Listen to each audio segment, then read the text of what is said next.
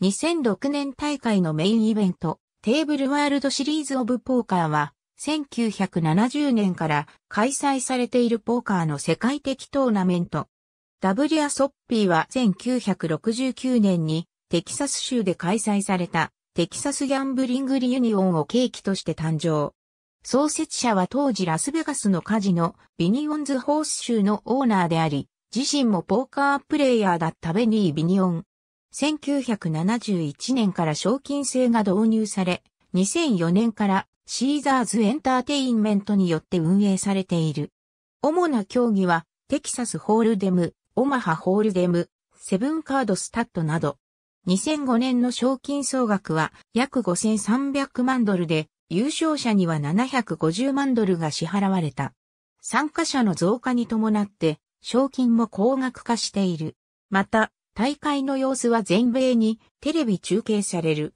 2002年以降は、スポーツ専門チャンネルである ESPN が中継を行っている。同シリーズは毎年5月から7月にかけて開催されている。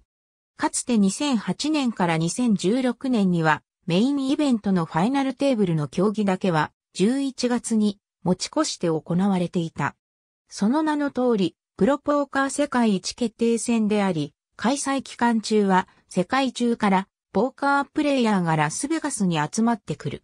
左がジョニー・モス、右がプギー、ピアソン・ダブリア・ソッピーでは2004年から年間最優秀選手賞を設け、オープン大会のみ選考対象としている。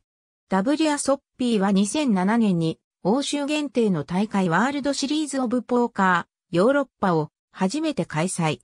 2010年にはワールドシリーズオブポーカーアフリカ、2013年にはワールドシリーズオブポーカーアジアパシフィックをそれぞれ開催され、規模を拡大している。ありがとうございます。